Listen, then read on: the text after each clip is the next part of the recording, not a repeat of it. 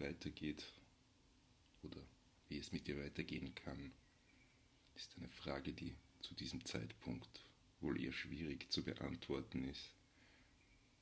Definitiv und sicher ist aber, dass Schriftstellerinnen und Schriftsteller weiterschreiben werden. Literatur und die großen Werke der Weltliteratur entstehen ja in einer Situation der wesentlichen Einsamkeit. Das ist aber nicht das gleiche wie die herrschende Quarantäne. Die Frage, ob das jetzt der Einbruch der Zeit in das Spiel ist, wie Heiner Müller das einmal genannt hat, ob wir also so an einer Epochengrenze stehen, ist vielleicht eher eine Frage für die zukünftige Literaturgeschichte, für den Literaturbetrieb, für die Künstlerinnen und Künstler, für die Schreibenden ist es ganz sicher eine wesentliche Zäsur und eine Gefahr.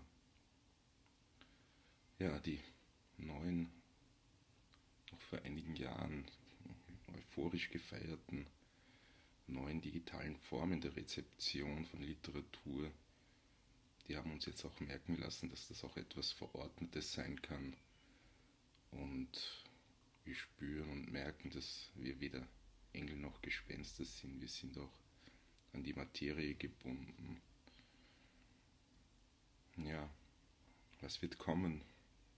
Wird es so eine Wiederbelebung der engagierten Literatur geben? Oder wird sich die Literatur mehr in einen Elfenbein, Elfenbeinturm zurückziehen, auch einen literarischen? Wird es, und ich benutze bewusst so einen quasi sich widersprechenden Begriff, wird es so eine revolutionäre Biedermeier-Literatur geben? Oder werden wir, da wir jetzt auch konfrontiert sind mit diesen äh, sukzessiven Einschränkungen, die die Pandemie mit sich gebracht hat, quasi unsere Grundrechte verlieren, wird sich da eine neue Art von politischer Literatur erheben. Ja, und Elfriede Jelinek verlässt ja ihr Haus nie.